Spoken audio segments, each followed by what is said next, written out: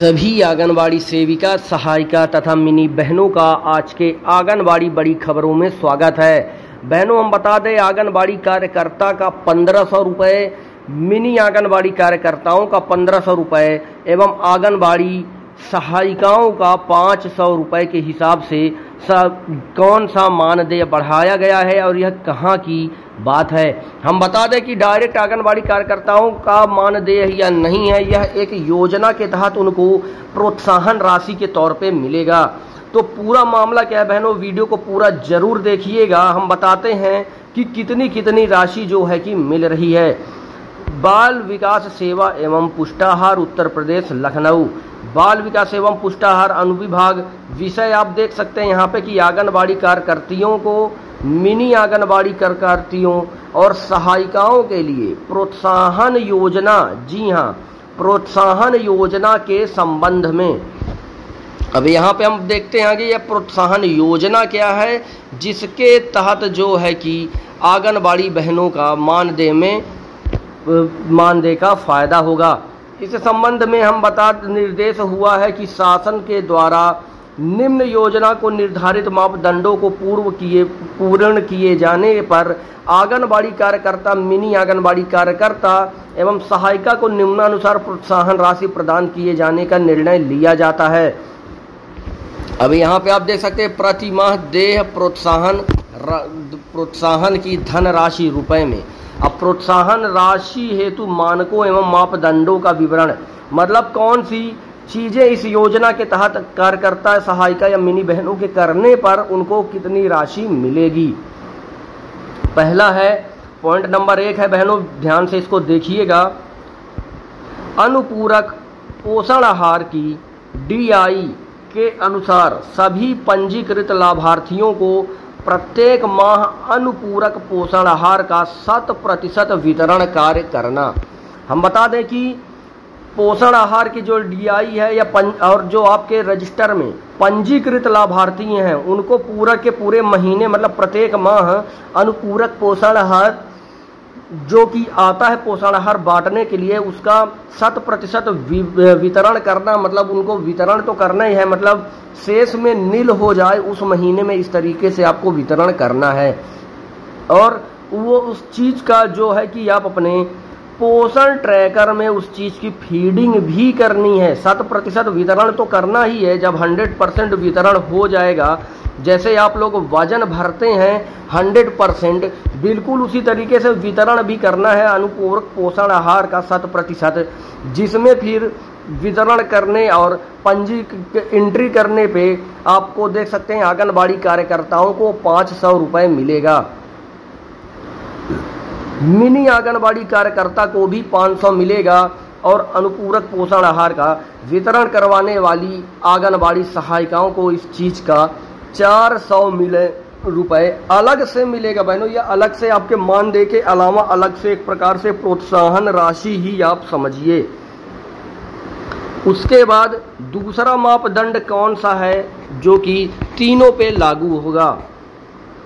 समस्त पंजीकृत लाभार्थियों के लिए पोषण ट्रैकर के सभी क्षेत्रों, बहनों, इस चीज़ को ध्यान से देखिएगा। समस्त पंजीकृत लाभार्थी जितने आपके पोषण ट्रैकर में हैं तो लाभार्थियों के लिए पोषण ट्रैकर के सभी क्षेत्रों का प्रत्येक माह शत प्रतिशत फीडिंग कार्य पूर्ण करना।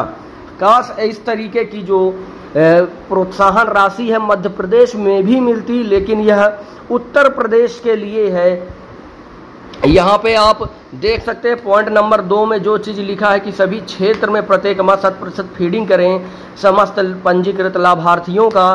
तो इससे सीधा सा मतलब है, अगर बच्चे हैं तो बच्चों का वज़न कंप्लीट होना चाहिए क्योंकि वह भी पंजीकृत लाभार्थी हैं। ग्रह भ्रमण होनी चाहिए। जी हाँ ग्रह भेंट या ग्रह भ्रमण जो भी आप बोलते हैं पोषण ट्रैकर में रहता है, ग्रह भ्रमण आपको करनी है। आधार वेरिफिकेशन आपको करना है। इसके अलावा और कौन कौन सी चीज़ें हैं? मोबाइल नंबर भी अब इस टाइम पे वेरीफाइड हो रहा है बहनों। मोबाइल नंबर भी आपको वेरिफिकेशन करना है। लाभार्थी का मोबाइल नंबर सही है कि नहीं, उसके मोबाइल नंबर पे जो है कि ओटीपी जाएगी। तो ओटीपी जाने से जो है कि फिर ओ दर्ज करेंगे आप, तब उसका नंबर जो है कि वैलिड पंजीकरण हो जाएगा।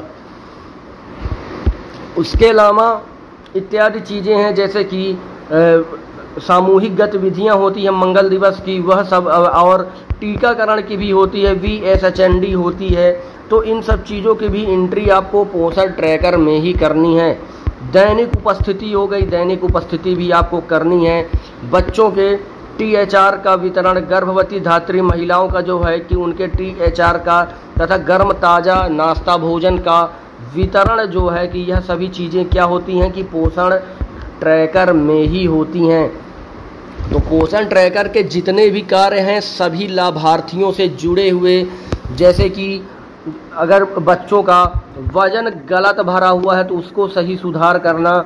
जो बच्चे कुपोषित या गंभीर कुपोषित में हैं, उनकी एंट्री और समय समय पर उनकी लंबाई और वज़न कम की माप करके एंट्री करना हर महीने इत्यादि जितने भी सभी क्षेत्र के फीडिंग हैं पोषण ट्रैकर में, उन सभी को शत प्रतिशत हंड्रेड परसेंट फीडिंग करना। अब आप सोच सकती हैं कि हंड्रेड परसेंट उनका फीडिंग करने पे आप देख सकती हैं, आंगनबाड़ी कार्यकर्ता के लिए एक हज़ार रुपये मिलेगा। जी हाँ पूरक पोषण आहार के शत प्रतिशत वितरण में पाँच सौ अलग है। एक हज़ार रुपये सभी पोषण ट्रैकर की डाटा एंट्री के लिए एक हज़ार रुपये मिलेगा। और मिनी बहनों को इस, काम के लिए सात सौ पचास रुपये मिलेंगे और पाँच सौ रुपये शत प्रतिशत वितरण वाला हो गया। बिल्कुल उसी तरीके से पोषण ट्रैकर के सभी क्षेत्रों में शत प्रतिशत वितरण के लिए मदद करवाने वाली सभी क्षेत्र के सभी क्षेत्रों के फीडिंग के लिए आंगनबाड़ी सहायिकाओं को साढ़े तीन सौ रुपये मिलेगा और पोषण आहार वितरण वाले का चार सौ रुपये मिलेगा। अब आप यहाँ पे देख सकती हैं कि आंगनबाड़ी कार्यकर्ता को कुल पंद्रह सौ रुपये अलग से मिलेंगे, उनके खाते में मानदेय के अलावा पंद्रह सौ रुपये आएगा। इसी तरीके से साढ़े बारह सौ रुपये यानी कि बारह सौ पचास रुपये मिनी आंगनबाड़ी कार्यकर्ता का इन दोनों पॉइंट के काम को करने पे सब बारह सौ पचास रुपये अलग से उनके खाते में आएगा, उनको मिलेगा। और सात सौ पचास रुपये यानी कि साढ़े सात सौ रुपये जो है कि आंगनबाड़ी सहायिकाओं को भी इस काम में मदद करने के लिए मिलेगा। यहाँ पे सीधे तीन नंबर पॉइंट में लिखा ही है कि एक माह में आंगनबाड़ी कार्यकर्ताओं को कुल अधिकतम 1500 मिनी आंगनबाड़ी कार्यकर्ताओं को 1250 एवं सहायिकाओं को साढ़े सात सौ रुपये प्रोत्साहन धनराशि अतिरिक्त मानदेय के रूप में प्राप्त हो सकेगी। मतलब कि यह एक प्रकार से अलग से आप मानदेय मान सकते हैं। अब यहाँ पे सोचने वाली बात बहनों यह है कि अगर आप यह कहेंगे कि हमारा मानदेय नहीं बढ़ रहा है तो आपके द्वारा जब यह शत प्रतिशत एंट्री की जाएगी तो हर माह आपको पंद्रह सौ रुपये की धनराशि अलग से मिल जाएगी। तो मतलब मानदेय के अलावा पंद्रह सौ रुपये आपका अलग से यहाँ मिल जाएगा, जब तक आपका मानदेय नहीं बढ़ रहा है। तो बहनों, वीडियो में अगर कुछ, जो कुछ न समझ आया तो आप कमेंट करके पूछ सकती हैं। कोई भी आपके सवाल जवाब है बहनों तो आप कमेंट करके हमसे ज़रूर पूछें। वीडियो को ज़्यादा से ज़्यादा WhatsApp group, anganwadi group, WhatsApp status में शेयर कर दीजिएगा। वीडियो को एक लाइक बहनों ज़रूर कर दीजिएगा।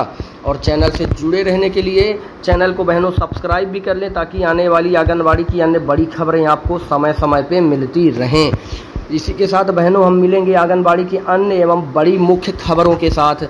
तब तक के लिए बहनों, नमस्कार।